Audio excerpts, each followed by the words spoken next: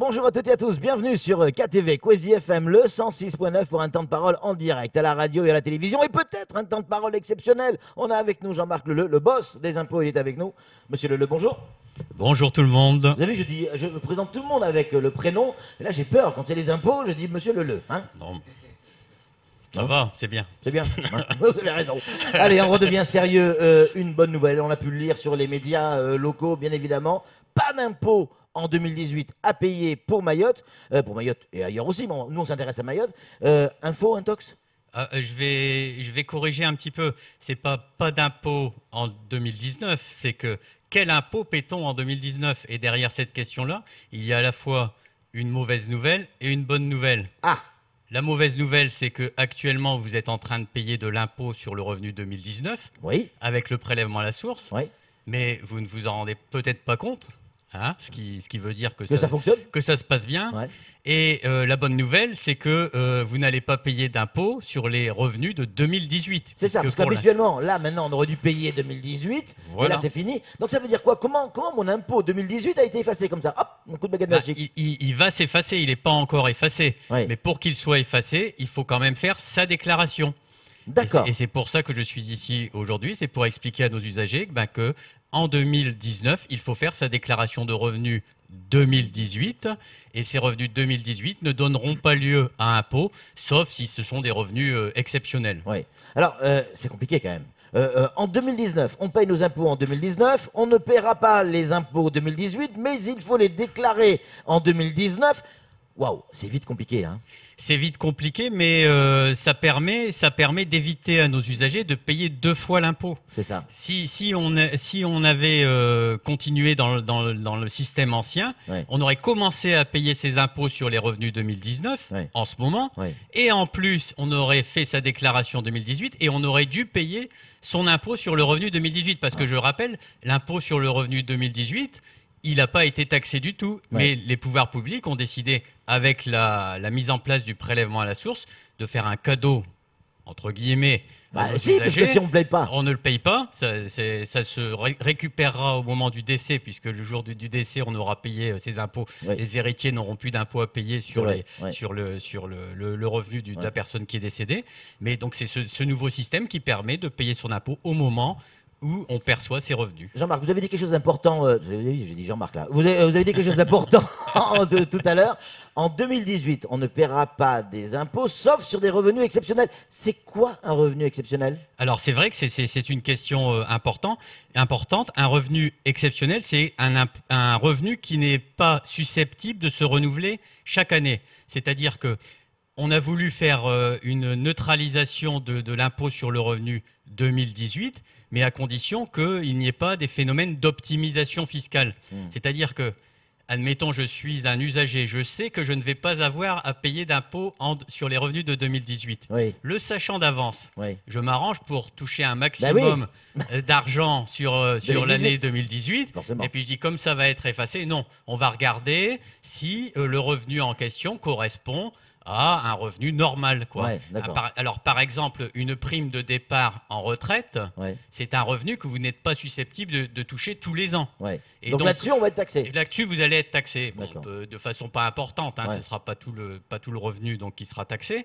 Euh, par contre, euh, une prime de fin d'année qui est versée tous les ans, Hmm. hein, un 13e mois, là, c'est un revenu non exceptionnel parce qu'on le touche tous les ans. Et donc, ça, là, on ne sera pas taxé dessus. Un loyer, les loyers que je peux percevoir euh, d'une, euh, du- d'un appartement que je loue euh, ou euh, des dividendes d'une société, c'est des revenus exceptionnels? Alors, le loyer, c'est un, c'est un bon exemple. Ouais. Le loyer, vous avez votre loyer de janvier à, à décembre que vous, que vous touchez. Mais par exemple, ouais. vous vous dites, comme en 2018, je ne vais pas payer d'impôt, bah, je vais réclamer à mon, à mon locataire trois mois de loyer d'avance pour 2019 Ouais, ouais, ouais. et je vais les, les toucher en décembre. Eh bien non, ce sera un revenu exceptionnel. Vous avez pensé à tout quand même là hein Bon, on essaye. Ouais, ouais. comment euh, comment j'effectue euh, ma, euh, ma déclaration pour 2018 Parce que là, ok, je suis prélevé en 2019. Vous me dites que cette année, il faut que je fasse ma déclaration, et c'est pour bientôt, on va en parler, euh, de mes revenus 2018, même si je ne serai pas taxé. Comment je la fais cette déclaration maintenant? Internet, euh, comme avant, à l'ancienne? Alors, euh,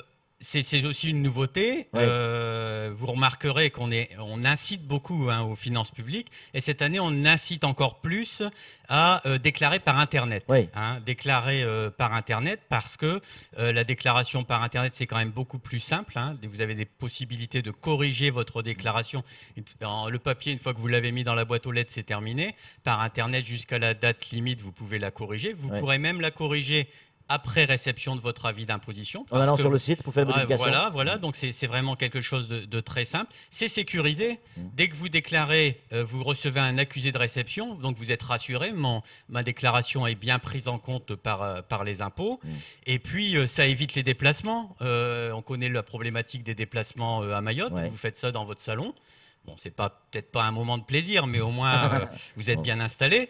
J'ai le droit de le faire ailleurs que dans le Oui, salon. hein. voilà, voilà. Et puis, euh, et puis, ça vous donne tout de suite votre, votre montant d'impôt. C'est ça. Hein, vous, vous savez tout de suite, immédiatement, combien vous allez devoir euh, payer, euh, payer d'impôts. Donc c'est vraiment une formule que- qu'on encourage. Ouais. Après, euh, tout le monde n'a pas Internet. Il y a des usagers euh, qui ne Il y a sont encore pas- la formule papier. Il y a encore la formule papier, mais Comment là, je fais pour l'avoir alors il faut aller, euh, il faut connaître quelqu'un qui a Internet et lui Ouais. demander de vous télécharger sur Ah le oui. site impôt.gouv.fr. Il y a un moteur de recherche, vous tapez déclaration d'impôt sur Ouais. le revenu et vous le- vous l'imprimez. Ouais. Voilà. Donc il faut quand même avoir Internet et une imprimante. Oui, sauf si vous l'avez aussi, si vous étiez, vous la recevrez aussi par courrier postal si vous, si vous l'aviez par courrier les années précédentes. La Poste, vous en parlez, les adresses, c'est important. À Mayotte, là, on a subi il y a encore quelques temps euh, euh, des modifications euh, d'adresses. Tout change. Euh, les, Ouais, la- les noms des rues, c'est plus les mêmes, etc., etc. Et là, j'ai peur qu'on me dise aux impôts, Eh, votre adresse, c'est pas la bonne. Allez, rao, tu payes. Non, alors. Euh, ça ne se passera pas comme ça, bien sûr. Mais euh, si euh, vous avez connaissance, si les- nos, usagers ont connaissance de leur, de leur changement d'adresse, Ouais, sur la première page de la déclaration, il y a une rubrique changement d'adresse. ouais. Et là, vous indiquerez votre nouvelle adresse au 1er janvier 2019. Mm. Et en, en- en dessous, il y a adresse au- en 2018. Et vous indiquerez votre adresse en 2018. Et nous, ça nous permettra de bien mettre à jour le dossier de, sa- de chaque usager. Et c'est important euh, pour... euh, euh, comment, Ouais, ça, pour la- ça- ça va mettre du, ça, va, ça va- ça va prendre du retard sur la déclaration. Non, non, non, ça ne. comment c'est un, travail supplémentaire Ouais. que l'on a à faire, mais qui, qui procède de, de- de- de la mise à jour des adresses à Mayotte. Ouais. C'est bien, le, le- le mécanisme est bien lancé. Beaucoup de communes ont, ont modifié leurs adresses. Ouais. Il reste à faire du panotage, des choses comme ça. Mais c'est quelque chose de, de très important pour Mayotte et il faut qu'on en tienne compte, bien sûr, dans l'adresse de nos usagers. Et vous avez raison, parce que les communes savent, euh, connaissent les nouvelles adresses, le nom de rue, etc. Mais les propres habitants eux-mêmes, des fois, ne connaissent pas encore euh, le, Le nom de le la nouveau nom de, euh, euh, de, de la rue. Et ils sont pas de mauvaise foi. C'est pour ça que j'invite nos usagers donc à bien regarder parce que quelquefois il y a des nouveaux panneaux qui sont indiqués oui. sur le nom des rues Mm. et puis bah, sinon de, de passer un petit coup de fil à la mairie parce Ouais. que la mairie connaît les nouvelles adresses. Jusqu'à quand on peut déclarer nos impôts 2018 Alors c'est le système national, hein, il y a une date limite pour la déclaration. 16 mai, si je et dis voilà, bien. pour la Ouais. déclaration euh, papier et puis pour internet on a un peu plus de délai puisqu'on a jusqu'au 4 juin. D'accord. On va respecter 4 juin par Internet, 16 mai pour, euh, Voilà. pour, pour le papier. Et pour le reste 2019, on s'occupe de rien. C'est toujours prélevé à la source. C'est toujours Et prélevé. pendant ce temps-là, la, fête continue. Bah, euh, je, dirais pas que c'est la fête, quoi. Ouais, Disons que le, ouais. le, le- le budget de l'État est alimenté comme il se doit pour financer tous les services publics. Camar, euh, qui est le rédacteur en chef du Faux Journal, comme vous le savez, euh, a une question à vous poser. Euh, quand j'avais reçu votre technicien pour les explications en langue locale, euh, une question est revenue euh, souvent. Euh, ceux qui sont qui ont des retards, ceux, euh, et celles hein, qui ont des, retards.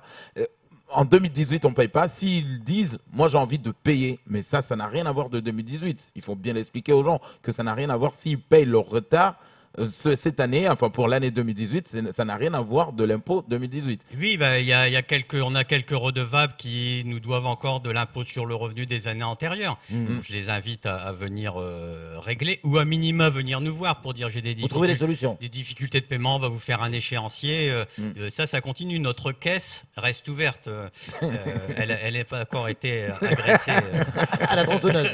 je n'irai pas jusque-là. Euh, euh, euh, monsieur le, le- quand on, paye ses impôts par prélèvement, et ça, ça fonctionne plutôt pas trop mal pour l'instant, et qu'on doit faire aussi cette déclaration 2018, est-ce que dans l'esprit des gens, dans la tête des gens, il n'y a pas un mélange qui risque de se faire avec, un, au bout du compte, un bug? C'est vrai, c'est pour ça, c'est pour ça que je, C'est comment- vrai, c'est pour ça que je suis là, ouais. que je suis là aujourd'hui. C'est pour bien expliquer les choses. hein. C'est un- une année un peu particulière. Ouais. Après, on va rentrer en vitesse de croisière. Mm. Là, on fait, euh, on met en place le prélèvement à la source. Donc, euh, cette année, on fait sa déclaration 2018. On va neutraliser l'impôt 2018. Mm. Donc, faisons-le.